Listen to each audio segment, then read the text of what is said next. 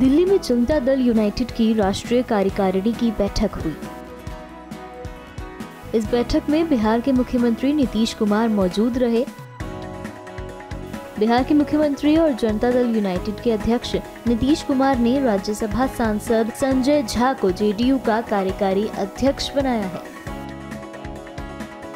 नीतीश सरकार में मंत्री रहे संजय झा पहली बार राज्यसभा के सांसद बने हैं। आपको बड़ी ज़िम्मेदारी दी गई है। तरह से देख रहे हैं राष्ट्रीय कार्यकारी अध्यक्ष बनाया गया। कितनी बड़ी ज़िम्मेदारी है? बहुत बड़ी ज़िम्मेदारी हमारे नेता और हम लोगों के राष्ट्रीय अध्यक्ष मुख्यमंत्री नीतीश कुमार जी ने दिया है। मैं उनके प्रति कृतज्ञता व्यक्त करता हूँ और निश्चित रूप से नीतीश कुमार जी ने बिहार को ट्रांसफॉर्म कर दिया 20 साल में। तो इनके काम को बात को लेकर के अन्य जगह भी जाना ये एक उद्देश्य रहेगा लेकिन बड़ी जिम्मेवारी है। नेशनल एक्जीक्यूटिव की बेहद महत्वपूर्ण बैठक थी। कई मुद्दों के ऊपर चर्चा हुई, कुछ अहम विषय जिनके ऊपर चर्चा बताए हमने नहीं नहीं वो तो प्रस्ताव आपको दे देंगे। जो प्रस्ताव सब पास हुआ है, उसको आप देख लीजिए। लेकिन अभी मेन यही है कि बिहार में जो चुनाव हुआ अभी, उसने दिखा दिया कि 40 में 30 सीट हम लोग जीते। 177 असेंबली सीट पर आउट ऑफ़ 243 हम लोग चुनाव जीते हैं। वो तो अब 2025 में जो विधानसभा चुनाव होगा बिहार में उसके लिए सिग्नल दे दिया बिहार ने झारखंड चुनाव को लेकर बेहद अहम चर्चा है सबसे बड़ी और पहली चुनौती अब यही होगी आपके सामने कोई चुनौती नहीं है। झारखंड चुनाव में पार्टी का हम लोग बैठेंगे और वहाँ पर क्योंकि पार्टी का पहले भी आधार रहा है तो वहाँ चुनाव लड़ने का हम लोग का उस पर फैसला लेंगे। साथ लड़ेंगे अलग लड़ेंगे?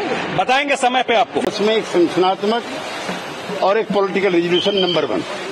Number दो, उन्होंने राष्ट्रीय कार्यकारिणी के सामने घोषणा की है। अब वो सदैव के लिए इसी गठबंधन का हिस्सा रहेंगे दैट इज़ एनडीए दाएँ बाएँ जाने का, आप चाहे कुछ भी लिखते रहो, दाएँ बाएँ जाने का हमारा प्रश्न ही पैदा नहीं होता। नंबर तीन, जो बिहार सरकार ने आरक्षण लागू किया था, जिस पर सुप्रीम कोर्ट ने हाई कोर्ट ने बैन लगाई है, उस पर हम सुप्रीम कोर्ट में जाएँगे। नंबर चार पार्टी के कामकाज में और अधिक एकरूपता लाने के लिए राज्यसभा के सांसद संजय झा जी को कार्यवाहक अध्यक्ष बनाया गया। अच्छा सर विशेष राज्य का दर्जा आपका तक आगे भी मांगते रहेंगे पैकेज पर भी राज्यों में क्या हाँ राज्य नरम हुआ है? आज हमने अपने प्रस्ताव में दोनों चीज़ें रखी। क्या स्टैंड को बदल दिया है? पहले विशेष राज्य का दोनों चीज़ें लिखी हुई। प्रस्ताव आर्थिक पैकेज प्रस्ताव में दोनों चीज़ें लिखी हुई है विशेष राज्य का दर्जा और स्पेशल इकोनॉमिक पैसेज के लिए हम लड़ते रहेंगे। इस बैठक में संजय झा को पार्टी में नंबर दो की ज़िम्मेदारी दी गई है। इसी कड़ी में नीतीश समेत जेडीयू के तमाम वरिष्ठ नेता शुक्रवार को ही दिल्ली पहुँच गए थे।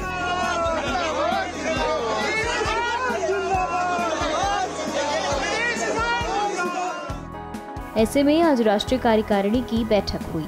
पार्टी के रैंक एंड फ़ाइल में अ, काम करने की जो प्रवृत्ति है लोगों की उसमें और इजाफा होगा और हम समझते हैं पैन इंडिया जो हमारी सबकी चाहत है कि राष्ट्रीय जनता दल हमारा जनता दल यूनाइटेड एक राष्ट्रीय पार्टी बने।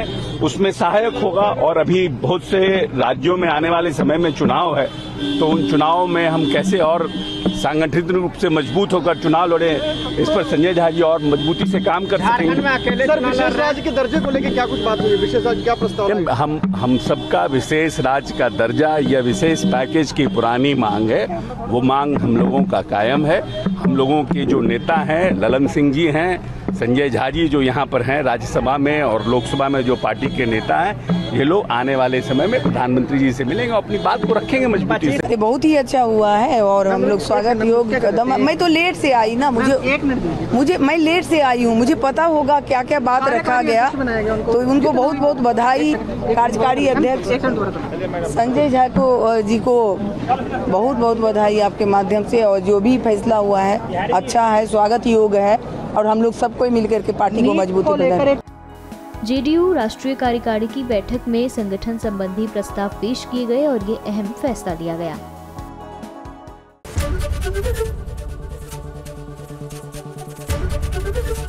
एबीपी गंगा, खबर आपकी जुबा आपकी।